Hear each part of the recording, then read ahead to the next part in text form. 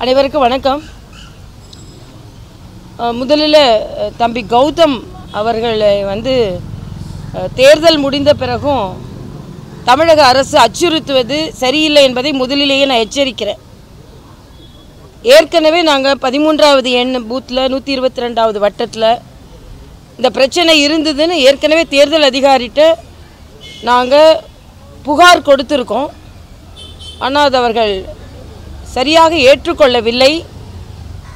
ஆனால் இப்பொழுது நடக்கும் சம்பவங்கள் இதை போல ஒரு விரும்பத்தகாத சம்பவம் அங்கே நடந்தது என்பதை உறுதி செய்து கொண்டிருக்கிறது. அங்கே ஏதோ எந்த பூத்லையும் அசம்பாவிதம் நடக்கலை. அதனால் மறு வாக்குப்பதிவு கிடையாதுன்னு சொன்னவர்கள் ஏன் இன்று மறுபடியும் அரசாங்க அதிகாரிகளால் மெட்ரோ வாட்டர் அதிகாரிகளால் கௌதம் அவர்கள் வீட்டிற்கு வந்து அவர்களை அச்சுறுத்தும் அளவிற்கு கேள்விகள் கேட்டு எவ்வளவோ எல்லா மெட்ரோ வாட்டர் கனெக்ஷன்லையும் போய் இன்றைக்கி வெரிஃபை பண்ணிட்டீங்களா? ஆக அவர் வந்து அவர் கிளியராக சொல்லியிருக்காரு எங்ககிட்ட எந்த கனெக்ஷனும் இல்லை அப்படின்னு. தனிப்பட்ட முறையில் பெரிய பெரிய நிறுவனங்களுக்கெல்லாம் எந்தவித கட்டுப்பாடும் இல்லாமல் இருபது இருபத்தஞ்சி கனெக்ஷன்லாம் கொடுத்தவங்களெல்லாம் போய் விட்டாச்சு. ஆனால் இங்கே கௌதம் அவர்களை அச்சுறுத்தும் அளவிற்கு வந்து ஏற்கனவே அவர் காயப்பட்டிருக்கிறார். அவரை அடித்து விரட்டி இருக்கிறார்கள். இன்னைக்கு மறுபடியும் அவர் வீட்டுக்கு வந்து அதிகாரிகளை வைத்து அச்சுறுத்துகிறார்கள். ஆக திராவிட முன்னேற்ற கழகத்திற்கு தோல்வி பயம் வந்துவிட்டது. ஆனால் அதற்காக அரசாங்க அதிகாரிகளை வைத்து இத்தகைய நாடகங்களை நடத்த வேண்டாம் என்று நான் தமிழக முதலமைச்சருக்கே நான் வேண்டுகோள் விடுக்கிறேன். இன்னும் சொல்லப்போனால் இங்கே இந்த பகுதி சட்டமன்ற உறுப்பினர் இதற்கு பின்னால் இருக்கிறார் என்றால் நான் எச்சரிக்கிறேன். ஜனநாயகத்தில் இதெல்லாம் யாரும் ஒப்புக்கொள்ள முடியாது. நீங்கள் தமிழகத்தை ஆண்டு கொண்டிருக்கிறீர்கள் என்பதற்காக எந்த அச்சுறுத்தலையும் நாங்கள் ஏற்றுக்கொள்வோம் என்பதில்லை. அதுவும் குறிப்பாக எங்களது தொண்டர்கள். இதுக்கு முன்னால் என்ன சொன்னீங்க? ஜாதியை வைத்து திட்டினார் என்று சொன்னீங்க. என்ன ஜாதியை வைத்து திட்டினார்? அவரே அவர் வந்து பழங்குடியினரின் ஒரு பகுதியை சார்ந்தவர் எஸ்டி பிரிவை சார்ந்தவர். அவர் என்ன ஜாதியை வச்சு திட்டினார்? அவரை பார்த்த உடனே ஓ இவர் வேற ஆளாக இருப்பார் போல இருக்கு. நம்ம எப்பவுமே டார்கெட் பண்ணுவோமே. அவங்களா இருப்பாங்க போல இருக்கு அப்படின்னு சொல்லிட்டு இவங்களா ஒரு முடிவு பண்ணிக்க வேண்டியது. பாஜகவிற்கு எல்லாரின் ஆதரவும் தான் இருக்குது இவங்க பாஜக காரங்கன்ன உடனே ஏதோ இவங்க இப்படி தான் இருப்பாங்கன்னு சொல்லிட்டு இவங்கள உடனே ஒரு முத்திரை குத்தி இதுவே தவறு. ஜாதியை நாங்கள் யாருமே எடுக்கல. நீங்கள் தான் இன்னும் அதை வச்சு அரசியல் செய்து கொண்டு இருக்கிறீர்கள் ஆக நான் மறுபடியும் எச்சரிக்கிறேன். இதே போல் சம்பவங்கள் நடந்தால் நாங்கள் பாரதிய ஜனதா கட்சிக்காரர்கள் சும்மா இருக்க மாட்டோம். இன்னைக்கே மெட்ரோ அதிகாரிகள் மன்னிப்பு கேட்க வேண்டும். ஏன் அவர்கிட்ட வந்து நீங்கள் இதே மாதிரி அதிகாரத்தோடு நடந்து கொண்டீர்கள்? உங்களுக்கு தெரியாதா? அவர் என்ன கனெக்ஷன் வச்சுருக்காரு? என்ன ஏதுன்னு? அதனால் இதை போன்ற அச்சுறுத்தல்களை என்னால் முற்றிலுமாக பாரதிய ஜனதா கட்சியால் அனுமதிக்க முடியாது என்பதை நான் இங்கே எச்சரிக்கையாக விடுக்கிறேன்.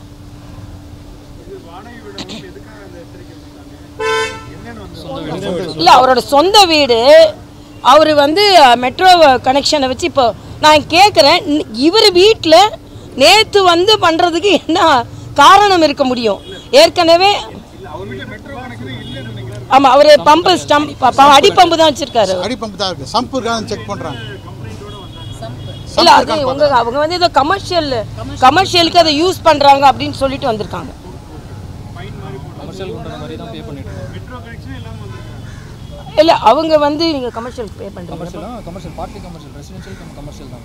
அது பே பண்ணிட்டு பே பண்ணிட்டு இருக்கேன் மேம் இருந்தாலும் அவங்க சம்பு இருந்தால் சம்பு வந்து டிஸ்கனெக்ட் பண்ணிட்டு போயிடலாம் அப்படின்ற மாதிரி வந்திருந்தாங்க. அவங்க சம்பு இருந்தால் அதை டிஸ்கனெக்ட் பண்ணுறதுக்கு வந்திருக்காங்க. இல்லை இவங்க அடிப்பம்பை தான் யூஸ் பண்ணிட்டு இருக்காங்க இல்லை ஏன் நான் கேட்குறேன் இல்லை ஏன் இவர் வீட்டுக்கு வரணும்? ஏன் இதை வந்து கேட்கணும்? அவரை மிரட்டுற மாதிரி ஏன் எடுத்துக்கணும்? எல்லாரும் எனக்கு என்னமா இந்த தெருவுள்ள எல்லாருக்கும் மெட்ரோ கனெக்ஷனோட இதை சரி பார்த்துக்கிட்டு கௌதம் வீட்டுக்கு வந்தால் பரவாயில்ல. கௌதமை குறி வைத்து வரணும். என்ன உங்கள் ஆட்சி அதிகாரம் உங்கள் கையில் இருக்குது ஆக இப்போ உடனே வந்து கரண்ட்டை கட் பண்ணுவேன் மெட்ரோ வாட்டரை கட் பண்ணுவேன் உடனே எல்லாம் பயந்துருவாங்களா? இது வந்து இது எந்த அளவிற்கு நீங்கள் எல்லாம் தேர்தலை நேர்மையான தேர்தலாக இல்லாமல் அச்சுறுத்தும் தேர்தலாக நடத்தி கொண்டிருக்கிறீர்கள் என்பதுதான். என்னம்மா? சரிதானே? ஆ கரெக்டு தான். பாருங்க நாங்கள் மட்டும் சொல்லல அவங்க சொல்கிறாங்க கரெக்டு அவர் இல்லத்துல தான் அந்த காபி ஷாப் உங்க இல்லத்துல தானே இல்லை அவர் தான் சொல்கிறாரு நான் தான் கமர்ஷியலுக்கு பணம் கட்டிட்டு இருக்கேன்னு சொல்கிறாரு அப்படி பார்த்து ஏன் இங்கே வந்து செக் பண்ணணும்னு நான் கேட்குறேன் நான் இல்லை இல்லை. ஏன் இங்கே வந்து மட்டும் செக் பண்ணுறீங்க இன்னைக்கு நான் கேட்குறேன் அப்போ எல்லா காஃபி ஷாப்லையும் போய் செக் பண்ணிட்டீங்களா? எத்தனை வாட்டி போய் எத்தனை பேர் செக் பண்ணீங்கன்னு கணக்கு சொல்ல சொல்லுங்க அப்புறம் நான் சொல்கிறேன் தம்பிங்களா? நீங்களும்? இல்லை இல்லை இல்லை. குறி வைத்து இல்லை இல்லை குறி வைத்து இல்லை. ஆமாம் அதுதான்.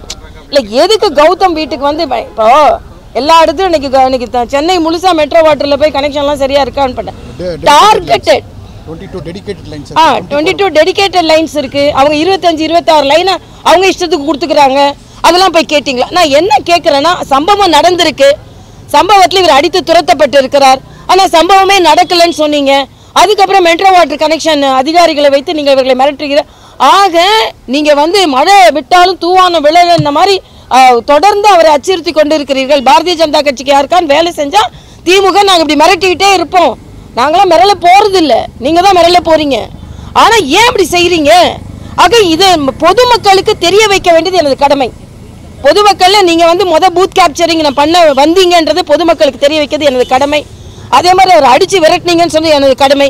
எதற்கெடுத்தாலும் ஜாதியை நீங்கள் புகுத்துவீர்கள் என்பதற்கு அவரை வந்து வேற ஜாதியை நினைச்சிட்டு அவர் ஜாதியை வைத்து அவர் வந்து அச்சுறுத்தினார் என்பது அது முற்றிலும் போய். இங்கே உள்ள சட்டமன்ற உறுப்பினர் சொன்னது. அதனால தான் அவரோட சர்டிஃபிகேட்டை நாங்கள் வாங்கினோம்.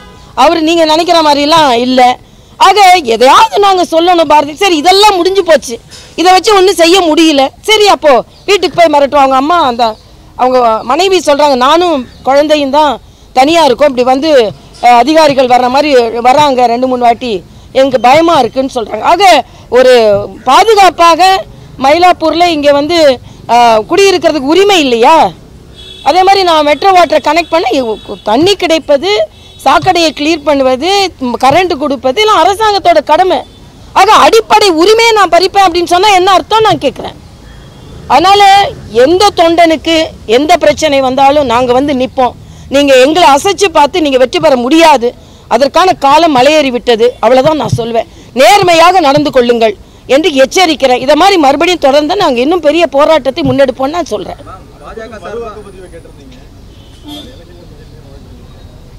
இல்லை அதுதான் அவங்க எந்த அதனால தான் நான் இப்போ சொல்கிறேன் எந்த இடத்துலையும் மறுவாக்கு பதிவு நடத்துகிற அளவுக்கு நடக்கலைன்னு சொன்னாங்க. ஏன்னா இவங்க ஐம்பது பேர் வந்தது உண்மை. இவரை அடித்து துரத்தியது உண்மை. எல்லாம் நடந்தது உண்மை. நாங்கள் எல்லாமே நாங்கள் கேட்டிருக்கோம். அவங்க மறுவாக்கு பதிவு எந்த இடத்துலையும் இல்லைன்னும் போது நாங்கள் அதுக்கான விவரங்களையும் நாங்கள் கேட்டிருக்கோம். ஆனால் நான் என்ன சொல்கிறேன்னா இப்போ இவங்க நடந்து கொள்வது மறுபடியும் மறுபடியும் அதே மாதிரி நிகழ்வுகள்லாம் நடந்தது என்பதற்கு நிரூபணமாகிறது அல்லவா இப்போ அவர் வீடு அவரை ஏன் டார்கெட் பண்ணணும்? அதுக்காக நான் கேட்குறேன்?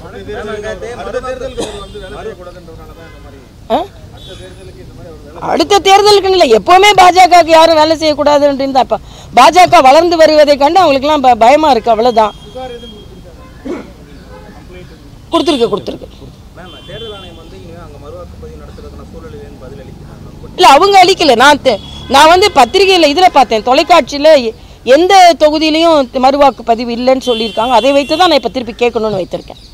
தனியாக தனிப்பட்ட முறையில் எதுவும் பதில் கொடுக்கல. அஃபிஷியலாக இன்னும் எங்களுக்கு வரல?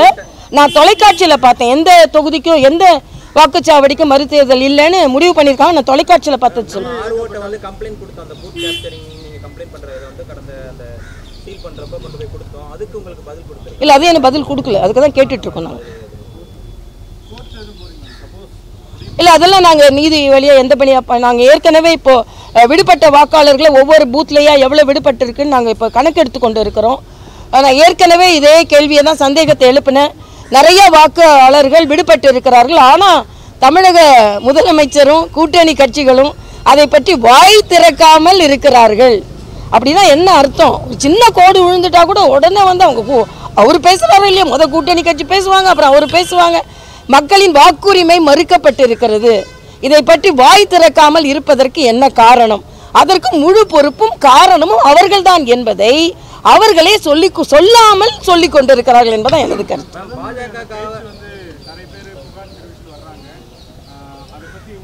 இல்லை நான் நேத்தே அதுக்கு ரொம்ப விளக்கம் சொல்லிட்டேன் நான். விளக்கமாக மரியாதைக்குரிய பாரத பிரதமர் மறுபடியும் மறுபடியும் அவர் மக்கள் விருப்பம் அடையும் அளவிற்கு பேசுகிறார். வெறுப்பு பேச்சு வெறுப்பு பேச்சுன்னு அந்த ஒரு காரணத்தை வைத்து ஒரு ஒரு வார்த்தையை திருப்பி திருப்பி சொல்லி ஏதோ இதை சொன்ன உடனே பிரதமர் மேலே எல்லாம் வெறுப்படைந்து விடுவார்கள் என்ற ஒரு தவறான பிரச்சாரத்தை காங்கிரசும் திராவிட முன்னேற்ற கழகம் போன்ற அவர்கள் கூட்டணி கட்சிகளும் எடுத்திருக்கிறது. இது எந்த விதத்திலும் பலன் தராது. என்னென்றால் மக்களுக்கு அவரோட திட்டங்கள் எல்லாமே எல்லா மக்களுக்கும் இணைந்த திட்டங்கள் தான். எந்த வேற்றுமையும் பார்க்கவில்லை அவர்.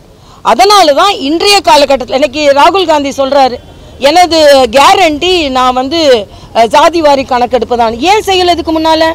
நீங்கள் ஆட்சி செய்கின்ற இடத்துல செஞ்சீங்களா? இல்லைன்னா நீங்கள் ஆட்சி செய்த மாநிலங்களில் செஞ்சீங்களா? ஆக எல்லாத்துக்குமே நீங்கள் இருக்கும்போது ஒன்றுமே ஏன் இதே ஸ்டாலின்ட்ட நான் கேட்குறேன் இல்லை நான் என்ன கேட்குறேன்னு நீங்கள் என்ன செஞ்சீங்க? நீங்கள் என்ன செஞ்சீங்கன்னு முதல்ல சொல்லுங்கள் பதினெட்டு இருபது வருஷமாக மத்தியில் ஆட்சியில் இருந்தீங்கல்ல ஸ்டாலின். என்ன செஞ்சீங்க? நீங்கள் கல்வியை நான் வந்து மாநில பட்டியலுக்கு மாத் மாற்றினீங்களா நீட்டை பற்றி உங்கள் உங்கள் ஆட்சியில் தான் முதல் ஆரம்பிச்சது. அதுக்கு தான் தடுத்தீங்களா? ஜல்லிக்கட்டு முதல்ல ஜெயராம் ரமேஷ் மூலமாக தான் ஆரம்பிச்சது. தடுத்தீங்களா? எல்லாத்துக்கும் விதையை நீங்கள் போட்டுட்டு அதுக்கப்புறம் எங்களுக்கு அதை பற்றி தெரியாதுன்னு சொல்றதா நான் எதிர்க்கிறேன். நிச்சயமாக இந்த மிரட்டல் அரசியலுக்கெல்லாம் நாங்கள் வந்து பயப்பட மாட்டோன்றதை நாங்க பதித்து தொடர்ந்து பாஜக சார்பாக அடுத்து அளிக்கப்படுவது எல்லாமே வாக்குறுதிகளாகவே இருக்கு பாஜகவோட சாதனைகளை சொல்லி எங்கேயுமே வாக்கு சேகரிக்க மாட்டேங்கிறாங்க வெறும் வாக்குறுதிகளா இருக்கு ரெண்டாயிரத்தி நாற்பத்தி ஏழுல வந்து இந்தியா வளர்ச்சி பெற்றுங்கிறத அவங்களோட முக்கிய குறிப்பாக ஆமா. பாஜகவோட சாதனைகள் என்னங்கிறத எதிர்க்கட்சிகள் தொடர்ந்து கேள்வி. பாவம் அவங்களுக்கு எதுவுமே காதுல கேட்காம இருக்கு போல இருக்கு. சாதனைகளை பார்த்து தான் மக்கள் எல்லா மாநிலங்களிலும் வாக்களித்து கொண்டு இருக்கிறார்கள் இப்பொழுது வாக்களித்து வருகிறார்கள். எல்லாம் இப்ப நான் வந்து புதுச்சேரியில துணைநிலை ஆளுநரா இருந்தேன்ப்பா. அங்க மட்டுமே ஆயுஷ்மான் பாரத் என்ற காப்பீடு திட்டத்தில் பலன் பெற்றவர்கள் ஒவ்வொரு வீட்லயும் இருக்கிறாங்க. ஒரு அறுபது கோடி ரூபாய் அவர்களுக்கு மட்டுமே ப பண பட்டுவாடா செய்யப்பட்டிருக்கிறது. உடம்பை அவர்கள் காப்பாற்றியது மரியாதைக்குரிய பாரத பிரதமர் உயிர் காப்பாற்றினார் என்பதற்காக. கேஸ் கனெக்ஷன் பத்து கோடி பேருக்கு கொடுத்துக்கப்பட்டிருக்கு இவங்களெல்லாம் ஒரு பேர் ஒருத்தரை கூட இவங்க சந்திக்கலையா? இருபத்தி நாலு லட்சம் கோடி முத்ரா வங்கி கொடுக்கப்பட்டிருக்கிறது கடன். இன்னைக்கு தெருவோர சாலை ஓரத்தில் உள்ளவங்களுக்கு ஐம்பதாயிரம் ரூபாய் கடன். ஒருத்தங்களையும் இவங்க இப்போ சந்திக்கல எல்லாத்தையும் விட்டுருங்க இன்னைக்கு உலக சுகாதார மையம் என்ன சொல்லுதுன்னா இந்தியாவில் மக்கள் எல்லாம் காப்பாற்றப்பட்டதற்கு கரீப் கல்யாண் யோஜனா அப்படின்னு மரியாதைக்குரிய பாரத பிரதமர் கொடுத்த ஐந்து கிலோ அரிசி காரணம். ஏன்னா அந்த நேரத்தில் கடையெல்லாம் அடைத்து இன்னும் அதை விரிவுபடுத்த அதை யாரும் பார்க்கலையா? ஆக பாரத பிரதமர் தனது வாக்குறுதிகளை எப்படி நிறைவேற்றினோம் என்பதை சொல்கிறாரு ஆனால் நீங்கள் தான் அதை பற்றி எதுவும் இல்லை. நான் கேட்குறேன் நீங்கள் ஐம்பது ஆண்டு காலம் ஆட்சி செஞ்சீங்க. இன்னைக்கு ஸ்டாலின் ரொம்ப பெருமையாக பேசுகிறாரு காங்கிரஸின் தேர்தல் அறிக்கை திராவிட முன்னேற்ற கழகத்தின் தேர்தல் அறிக்கையை பிரதிபலிக்கிறதாம் நான் கேட்குறேன். தமிழை நாங்கள் வளர்ப்போம் என்று பாரதிய ஜனதா கட்சியின் தேர்தல் அறிக்கை சொல்லுது. நீங்கள் சொன்னீங்களா? நீங்கள் சொல்லி காங்கிரஸில் ஒரு வார்த்தை போட வேண்டியது தானே அதுக்கு கூட உங்களுக்கு மனசு வரல. அதனால இன்னைக்கு நீங்கள் பேசுவது எல்லாமே வெற்று வாக்குகள் வாக்குறுதிகள். நாங்கள் செய்கிறது எல்லாமே நிறைவேற்றப்பட்ட வாக்குறுதிகள். அதைத்தான் என்னால் சொல்ல முடியும். தம்பி நீ மட்டும்தான் கேள்வி கேட்கலாப்பா பரீட்சையில் கூட ஒன்று ரெண்டு கேள்வி தான் கேட்கலாம் அதனால் எல்லாரோட ரெப்ரசன்டேட்டிவ் நீ இல்லை பார்த்து போதும். நிறையா உங்ககிட்ட பதில் சொல்லிட்டேன்.